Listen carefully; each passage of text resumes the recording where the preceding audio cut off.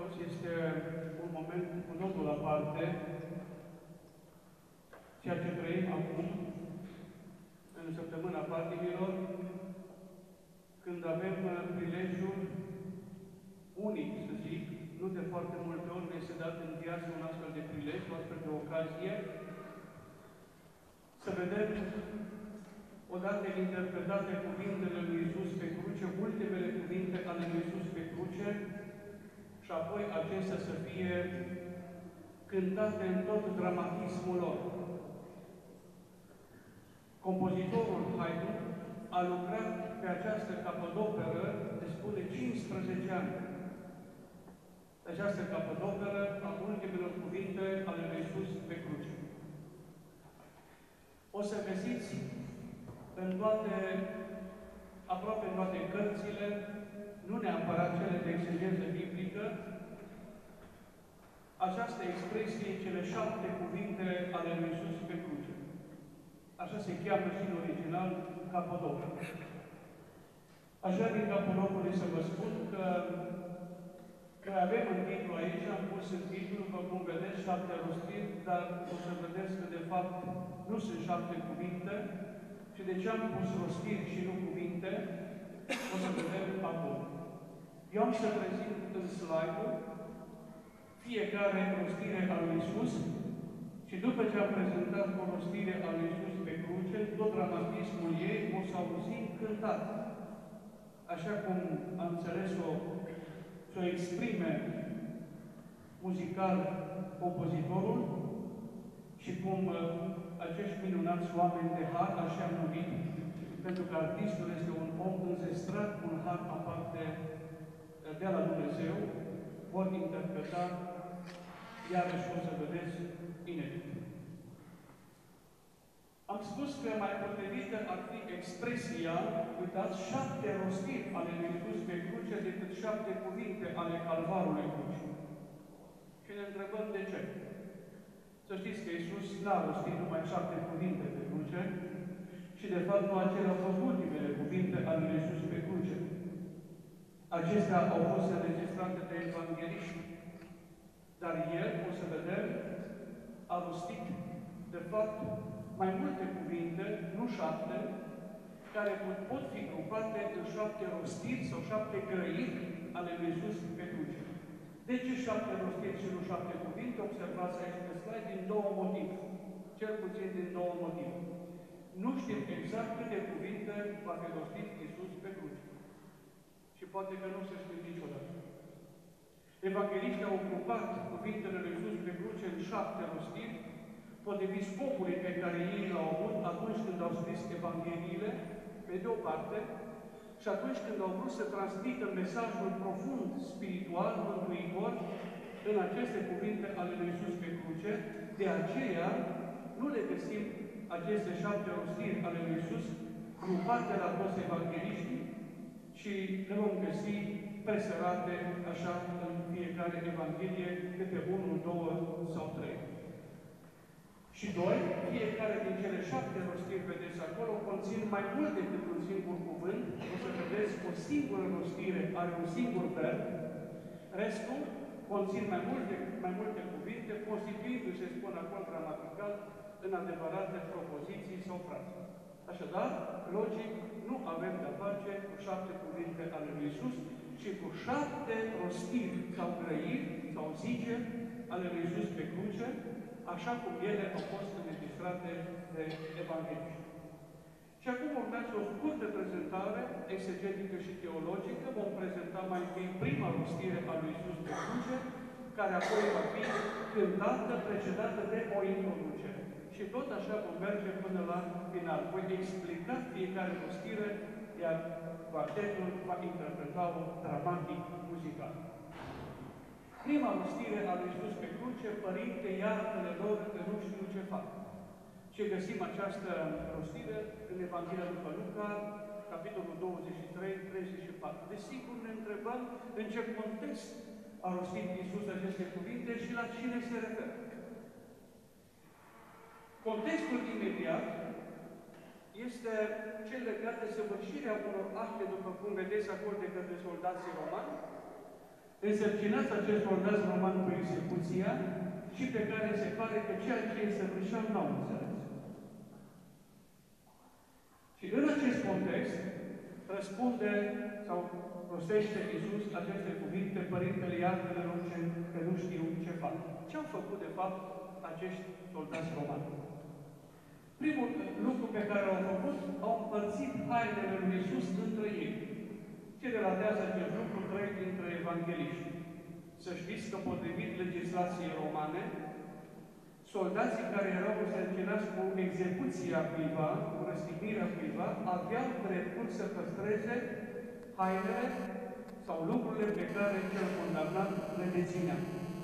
De aceea să știți că ei au împărțit hainele între ei și un lucru totuși nu au făcut, și anume n-au împărțit cămașa. O să vedem.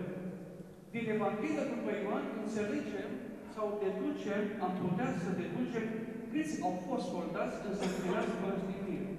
Să știți că nu foarte mulți. Au fost de număr de patru, iată ce spune Evanghelistul Ioan în capitolul 19, 23. Iar după ce l-au răstinit pe Iisus, și au luat hainele lui, le-au făcut patru părți, vedeți? De aici deducem că au fi fost patru soldați romani, fiecare ostașului pe o parte, revenindu-i, și observăm aici, adaugă evanghelismul și cămașa, dar mai mult spune el ce s-a petrecut cu ea. Pe cămașă se aruncă soții. De ce?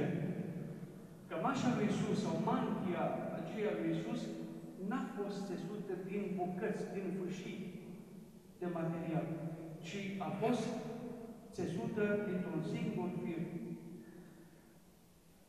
Sigur că ea avea o anumită semnificație și foarte interesant este că acest soldați roman, care poate nu știau nimic despre Isus, nu știm de ce, dar o să vedem imediat totuși de ce, să o să nu rupă această cămașă lui Isus, ci să arunce pe ea scoți, cui să revină. Și iată ce spune Ioan, că au zis ei, să nu sfârșim, ci să aruncăm sorții pentru ea, a cui să fie, ca să se plinească Scriptura care zice, împărțit au hainele mele lor și pentru cămașa mea au aruncat sorții. O să vedem, de asta am spus că ei fac fapte sau lucruri pe care nu le înțeleg. Ostașii romani sunt instrumentele împlinirii profeției din Psalmul 22-20 și indirect, uitați-vă, vor implica în desfășurarea planului de mântuire a lumii, fără să-și dea seama. E de fapt, de fapta lor împlinesc Scriptura. Și ce mai sunt? Ostașii romani, niște oameni, niște oameni vinovați sau nevinovați. În ce a constat vinovăția lor sau nevinovăția lor, am pus în paranteze nevinovăția lor. Păi ce a constat vinovăția lor sau nevinovăția lor? În faptul că au împărțit hainele asupra cărora aveau un drept, e o întrebare, sau că au, exec- au executat pur și simplu o comandă a stăpânirii romane, pe care oricum trebuia să o execute. Întrebarea care se pune în acest caz, unde este vinovăția lor sau nevinovăția lor? Dacă vorbim de vinovăție sau nevinovăție și Iisus se roagă ca ei să fie iertați, ne întrebăm atunci, desigur, și am pus două semne de întrebare, au fost ei de plin iertați? La această întrebare, răspunsul îl vom avea doar în faza ultimă escatologică a lumii. Atunci când poate cineva va ști sau nu va ști, toți vom vedea sau nu vom vedea, la judecarea viitoare, dacă ei au fost vinovați sau nu au fost vinovați, și dacă au fost iertați de plin sau nu, atunci când Iisus a rostit Părinte, iartă-te că nu știu ce fac. Aceasta este prima rostire a lui Iisus pe cruce. Ea va fi precedată în cântare de o introducere, să o ascultăm acum, urmând apoi a doua rostire a lui Iisus.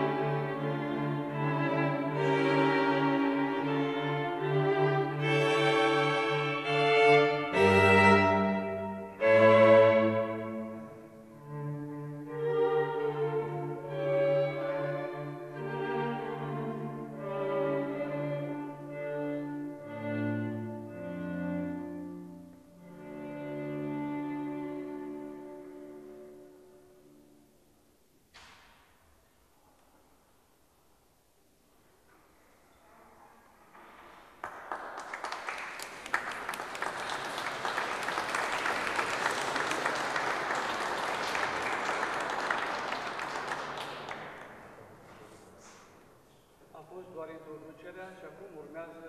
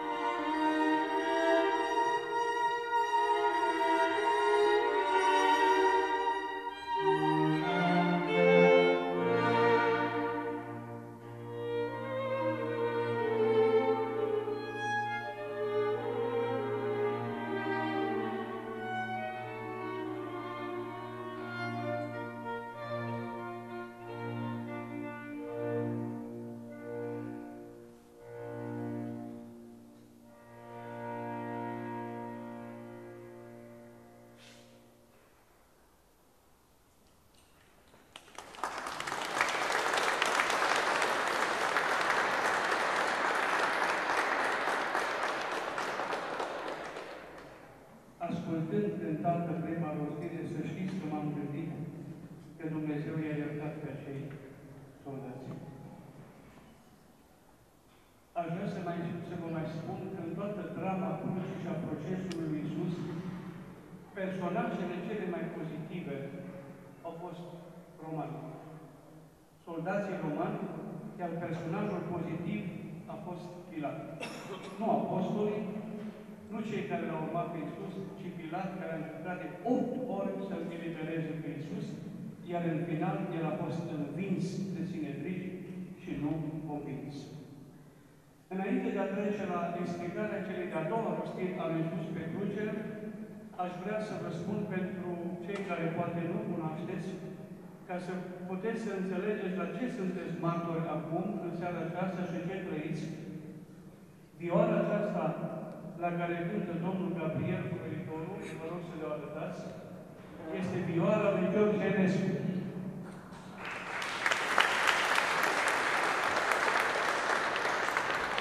Ea se păstrează în muzeu și este ridicată de acolo de maestru proiectorul doar atunci când se găsește în spectacol. Și aseară la tur, dacă îl întrebam dacă această vioară, după atâția și atâția ani, mai corespunde, mai e armonică și dânsul mi-a spus că este excelentă și că, de fapt, slujește foarte bine. Iată cu cine suntem noi, de fapt, în seara aceasta contemporană. A doua rostire a lui Isus, adevărul îmi spun ție, astăzi vei fi cu mine în rai. Știți, toi, toți spui, a fost adresate aceste cuvinte. Vreau să fac o precizare. Evanghelistul Matei arată că dintre martorii priveliștii crucii, trei categorii îl bajocăreau pe Iisus ironisându-l. Și le vedeți acolo, trecătorii, ținedriștii și tâlharii răstigniți. Rețineți această expresie, ultima, aceste cuvinte, tâlharii răstigniți, pentru că acum, poate în mintea multora se naște întrebarea dacă tâlharii l-au bajocorit, cui au fost adresate cuvintele de către Iisus, ție îți spun, adevărul îți spun, azi vei fi cu mine în rai. Iată ce spune Evanghelistul, trecătorii de defăimau, clătinându-și capetele și zicând, Tu, cel ce veni în templu și în trei zile îl zidești, mântuiește de pe tine, dacă ești Fiul lui Dumnezeu, coboară-te de pe cruce. Așa îl ajopăreau trecătorii. Și vreau să vă mai spun că Golgota, locul în care a fost răstignit Iisus, s-a găsit undeva la o răspântie de drumuri. De aceea, foarte ușor, trecătorii aveau posibilitatea să vadă puțin mai de departe ce se petrece pe cruce. De cruce nu s-au putut apropia decât soldații romani. Dar cei care treceau pe acolo și cei de departe îl bajocoreau pe Iisus, iar în relatarea Evanghelistului Matei observăm că ambii tâlhari îl bajocoreau pe Iisus și numai unuia i-a fost adresate aceste cuvinte. Uitați-vă aici, Matei și Marcu, cei doi evangeliști, spun că ambii tălhari îl ocărau pe Iisus. Iar Luca, iată ce spun ei, în același timp îl ocărau și tălharii cei răstigniți împreună cu el. În schimb, Luca spune că numai unul îl bajocorea pe Iisus. Iată textul lui Luca, ce consemnează el.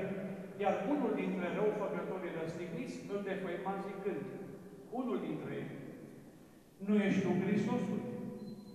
Mântuiește de pe tine însuși și pe noi.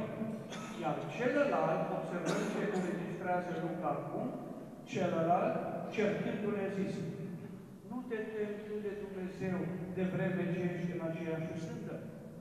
Noi cu dreptate primim ce ni se cuvine după faptele noastre, dar acesta niciun rău n-a făcut. Și zicea lui Iisus, acum te pomenește-mă, Doamne, când vei veni pentru împărăția Ta. Iar Iisus i-a zis, adevărul îți spun, eu ție, azi vei fi cu mine în Întrebarea care se pune este, când unul dintre tâlhari a înțeles că Iisus e Dumnezeu și că trebuie să-i ceară să-l, să, să aducă cu sine în împărăția sa. Ce se va fi petrecut pe parcurs? Care va fi fost momentul în care un tâlhar, unul dintre ei, cel de-a dreapta, a înțeles cine este Isus, ce l-a mișcat, cel va fi determinat să ajungă la această uh, cerere, această mărturisire, nu știm și poate nu vom ști niciodată. Ceva s-a petrecut acolo ce evangeliștii n-au înregistrat. Un lucru este cert. Ceva a fost acolo ce evangeliștii n-au aflat și acel lucru l-a mișcat Să știți că unii dintre exegeți, dintre teologi, spun că cel va fi mișcat pe acel tâlhar vor fi fost duioasele cuvinte ale lui Iisus, care s-a rugat ca să fie iertați cei care îl răstigneau. Poate să fie așa, poate nu e așa. Dacă nu este așa, cu siguranță poate nu va fi niciodată. Închei această prezentare a celei de-a doua rostiri, arătându-vă că cei doi tâlhari e un mesaj, de fapt, pentru noi, pentru că viață două modalități ale morții care se vor perpetua, care se vor perpetua peste viață. Tâlharul ce răspătit întâmpină moartea cu sufletul întunecat și lipsit de ajutor din partea lui Iisus și Iisus era acolo, un fel de moarte și mulți mor așa. Se exclude de bună voie de la mântuirea care se împlinește sub ochii lui. Așa cum el a fost liber. Ce ocazie a avut și ce posibilitate de mântuire. Și a doua, a doua, al doilea mod de a muri, al doilea fel de moarte a tătarului convertit. Mai notez un lucru. De o parte și alta crucii lui Hristos stau două destine diametral opuse, datorită liberei opțiuni a celor doi osădiți. Unul se pierde, iar altul se mântuiește. Și atunci, crucea pe unii desparte și o sădește, iar pe alții îi mântuiește. Îi o sădește pe aceia care înțeleg crucea și drama crucii ca o poveste a istoriei, ca un pas și mântuiește pe aceia care cred în puterea ei mântuitoare. A doua rostire a lui Iisus pe cruce. Adevărul îți spun ție, astăzi vei fi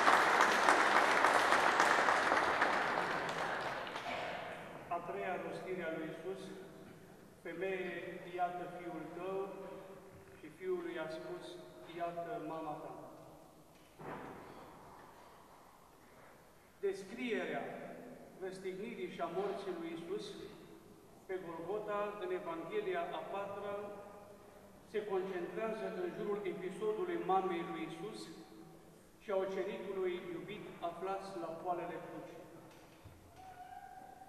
Să știți că foarte puțini din cei care l-au urmat în viața pământească pe Isus l-au urmat până la Golgota sau i-a fost fidel până la Golgota. E ușor să urmezi un Isus triumfător, dar este foarte greu să fii fidel unui Isus răstignit. Și mulți l-au urmat doar pe cel triumfător. Și astfel că Isus pe Golgota a rămas singur. Totuși, un grup restrâns, format din, vedeți acolo, patru femei, dar cu două semne de întrebare, am să vă explic imediat, mama sa, sora mamei sale, Maria lui Cleopa și Maria Magdalena. Dacă Maria lui Cleopa este o apoziție la sora mamei sale, atunci avem de-a face cu trei femei, dar mai vedem în relatările evangeliștilor încă cel puțin două prezente, Salomea și mama fiului Zebedeu. Important este că avem consemnat un număr totuși de 4, 3 sau 5 și lângă ele se află ucenicul pe care în Evanghelia 4 îl aflăm sub sintagma pe care îl iubea Iisus. Este o întreagă discuție în jurul acestei sintagme, cine trebuie văzut sub, acest, sub această expresie. Este vorba, desigur, de Evanghelistul Ioan. Doi dintre aceștia, dintre cei prezenți la poalele crucii, înainte cu puțin timp de a-și da Iisus trupul, se bucură de o atenție aparte din partea lui. E vorba de mama sa și de ucenicul iubit. Mamei lui îi spune, femeie, iată fiul tău.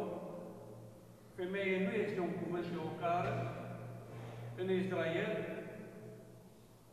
pentru cine sau cui îi se adresa unei femei căreia îi se adresa cineva cu cuvântul femeie, era un apelativ de cinste, pentru că se înțelegea imediat că ea este potențială colaboratoare cu Dumnezeu la nașterea de copii.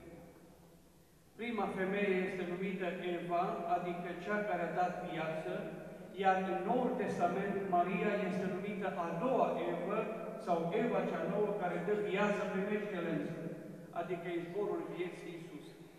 Acesta este motivul pentru care Iisus îi spune femeie, mamei lui. Și ucenicul i-a zis, iată mama ta. Departe de a fi o dispoziție testamentară a lui Iisus, pentru că despărțirea lui de mamă sa a fost de scurtă durată, totuși în viziunea teologică a Evanghelistului Ioan, și a tuturor exegeților specialiști în Evanghelia după Ioan, aceste cuvinte marchează, spun acolo, o cotitură spirituală fără egal în istoria umanității. Mama sa devine mama tuturor creștinilor. Și astfel, Iisus întemeiază pe cruce nouă familie post-pascal, adică noi toți toți cei care suntem aici, formăm noua familie post-pascală, toți creștinii, și noi acolo ne-am născut la poalele crucii și acolo, la poalele crucii, am primit toți ca mamă spirituală pe mama Fiului Lui Dumnezeu, pe Fecioara Maria. Trebuie să amintesc și pe vrednicul de pomenire Mitropolitul Bartolomeu, Anania, care într-o notă subliniară la acest verset spune așa, dimensiunii filiale îi se adaugă cea duhovnicească, prin care Maria, iată ce vă spuneam înainte, Eva cea nouă devine mama tuturor creștinilor.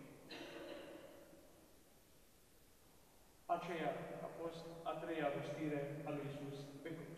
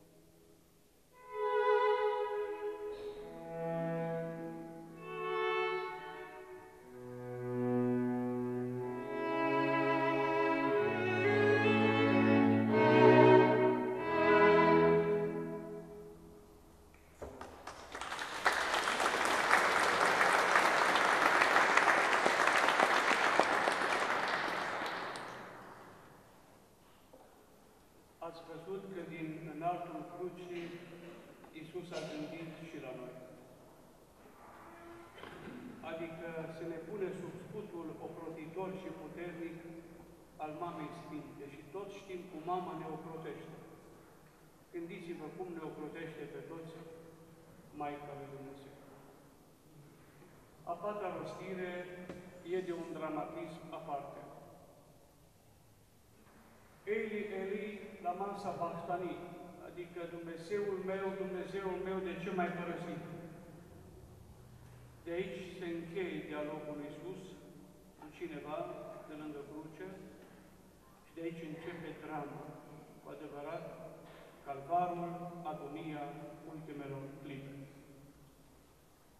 Cuvintele apar ca finalul agoniei lui Iisus, petrecut această agonie cândva între ceasul al șaselea și al nouălea, cu siguranță spre ceasul al nouălea, când potrivit evangeliștilor sinoptici, a primilor trei evangeliști, s-a făcut întuneric peste tot pământul.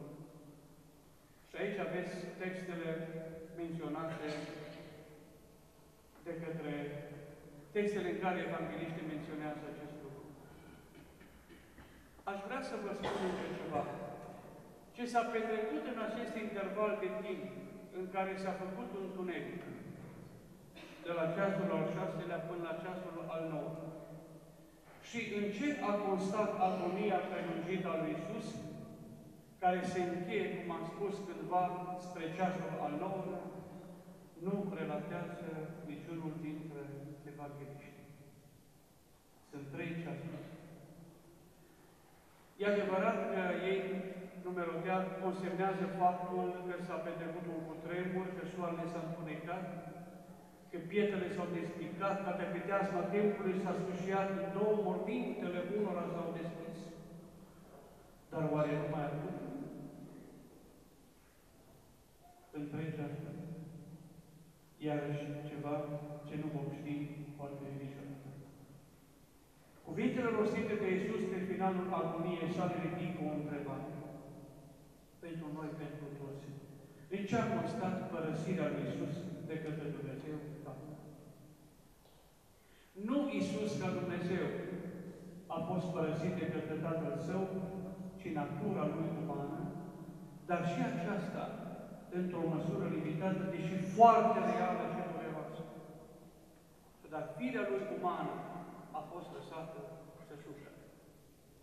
Părăsirea era semnul real al deplinei umanități al lui Isus, capabilă să trăiască la intensitate maximă suferința umană.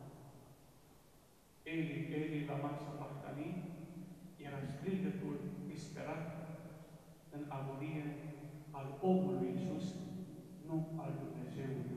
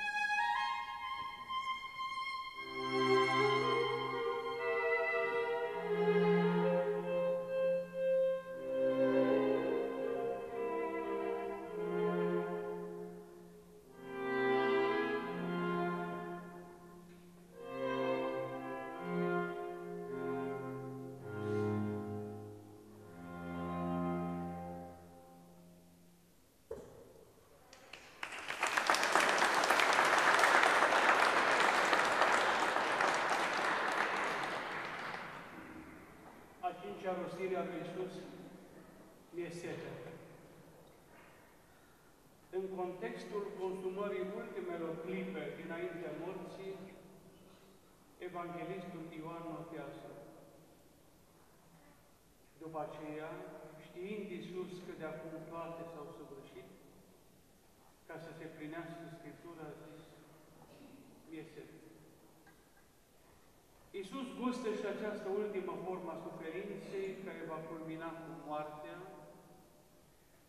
așa după cum un cuvânt al psalmistului spune, de fapt, aici se vede împlinirea acestei rostiri a lui Iisus. Uscatul s-a ca un vas de tăria mea și limba mea s-a lipit de cerul gurii mele și în țărâna morții mai pogor. Toți părinții bisericii și exegeții creștini au văzut în cuvintele Iisus Hristos împlinirea acestui psalm. Unul dintre soldați se repede aleargă, ia un borete înmuiat în oțet și îl aduce lui Iisus la gură. Potrivit celorlalți evangeliști, Matei, Marcu și Luca, Iisus refuză această băutură. Ioan, potrivit lui Ioan, Iisus gustă din acest oțet amestecat cu fier. Se contrazic evangeliștii? Nu. În prima fază, Iisus refuză această băutură care la vremea respectivă era un anestezic, ca un anestezic care se dădea celor moribunți. Și Iisus a vrut conștient să ducă până în ultima clipă ca om suferință și încercare și drama crucii. Probabil că în cele din urmă, și ca să se împlinească Scriptura, gustă din acel oțet. Expresia mie sete e și un ecou în arestarea sa, când spune atunci când a fost arestat și au încercat o parte dintre apostoli în frunte cu Petru să-l apere Oare nu voi bea paharul pe care Tatăl mi l-a dat? Mi-e sete a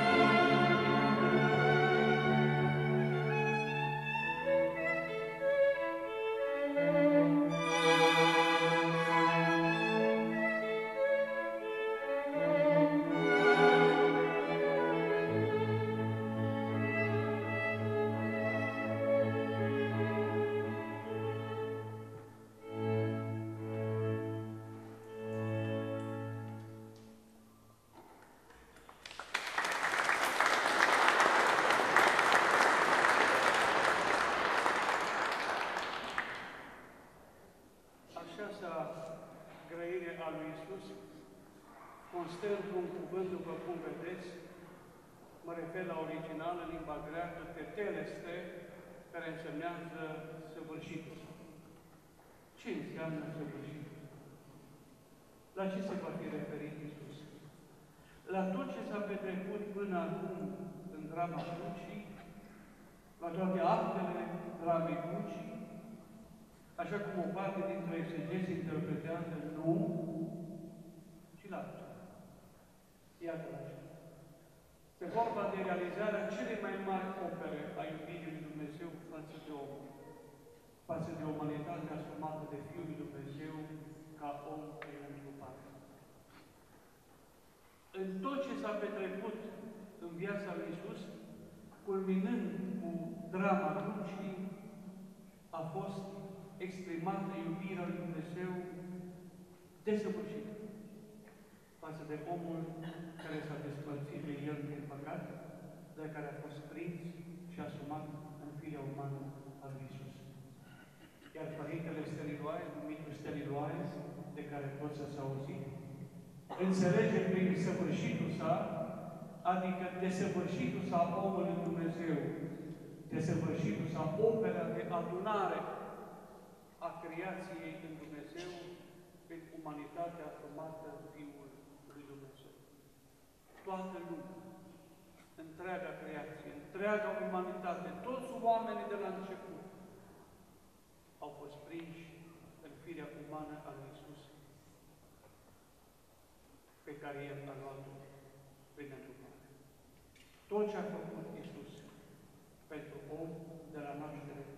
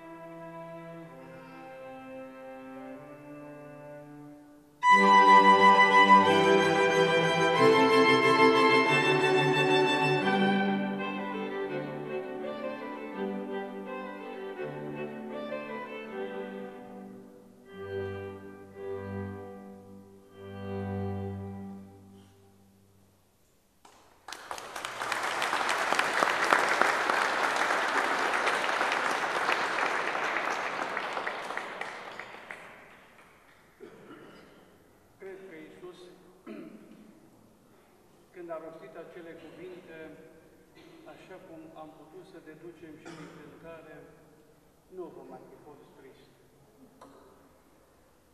Ultima rostire, Părinte, în mâinile tale încredințez Duhul meu și completează evangeliștii și zicând acestea și-a dat Duhul. Luca deplasează evanghelistul accentul de pe abandon am văzut înainte Dumnezeul meu, Dumnezeul meu, de ce mai părăsit? Deplasează acum, așa cum și evangeliștii au menționat și Eras, Matei și Marcu, accentul pe încredere de plină în voia Tatălui. Iisus se încrede în Tatăl. Cele două tipuri de rugăciune menționate de evangeliștii Matei, Marcu și Luca nu sunt altceva decât două fețe complementare ale atitudinii lui Isus din timpul agoniei anticipate în grădina Chețimani. Să vă explic puțin. Cele două tipuri de rugăciune, adică Dumnezeul meu, Dumnezeul meu, de ce mai părăsit?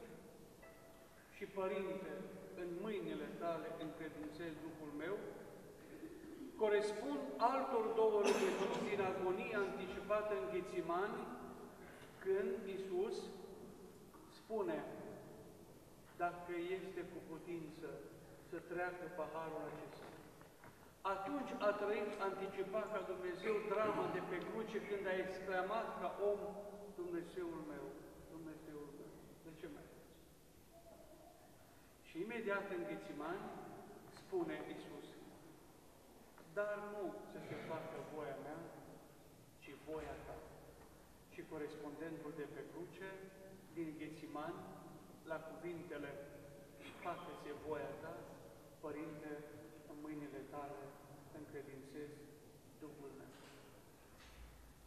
Ca o concluzie generală, ultimele rostiri ale lui Iisus pe cruce cuprind în esența lor întregul mister al profundei semnificații teologice și revelaționale a dramei care a mântuit lumea. Părinte, în mâinile tale încredințez Duhul meu. La sfârșit, după aceste cuvinte, o să vedeți, urmează o piesă de un dramatism aparte, intitulată Cu tremurul, când Isus își dă Duhul, totul s-a cutremurat, întreaga creație a săltat atunci, ca și la nașterea Lui, pământul se cutremură, iar unul dintre soldați, n-a fi exclus cel care a luat cămașa, a strigat. Când a văzut ce s-a petrecut. Cu adevărat, omul acesta drept a fost. Ultima rostire urmată de cutremur.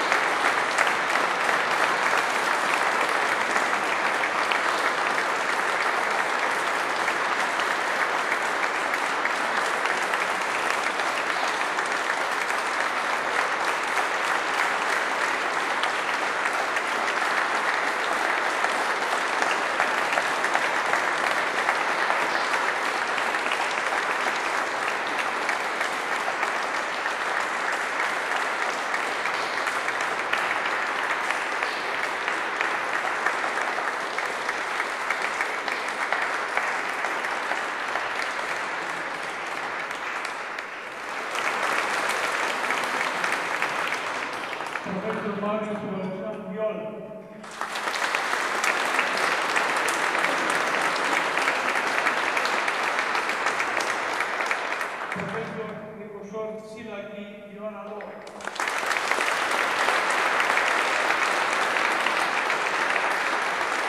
Profesor Gabriel Vitorul Ioana Andrei.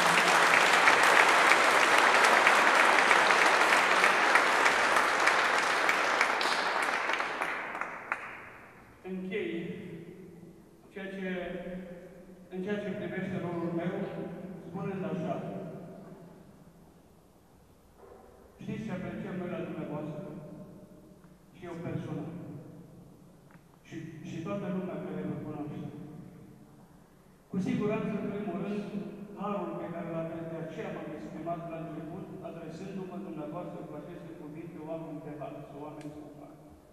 Aveți un dar aparte de la Dumnezeu și de aceea, dacă cineva este invidios pe dumneavoastră, este invidios pe Dumnezeu. Să știți că păcatul invidiei este păcatul direct adresat lui Dumnezeu. Nu ne-am dat noi nimic nouă. Ce am comandat noi din ceea ce avem la naștere? Nimic.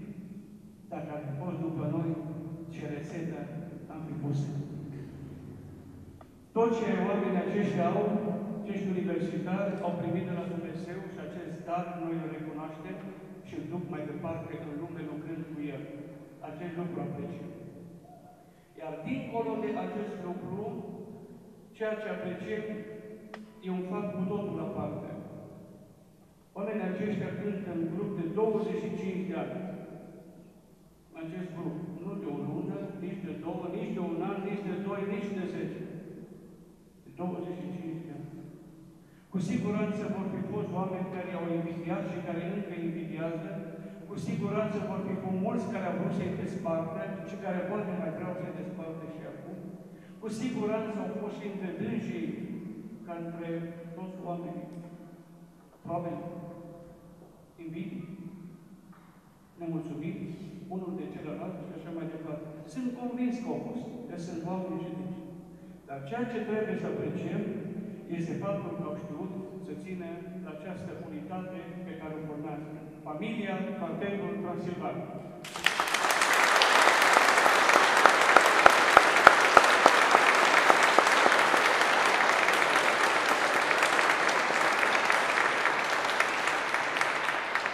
Și am și eu o rostire pentru dumneavoastră și pentru dânsii. Aceasta este cea pe care o vedeți pe slide.